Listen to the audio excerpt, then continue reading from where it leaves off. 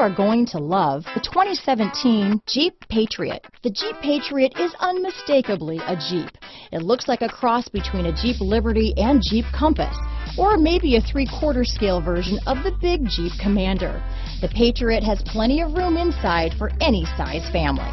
This vehicle has less than 25,000 miles. Here are some of this vehicle's great options.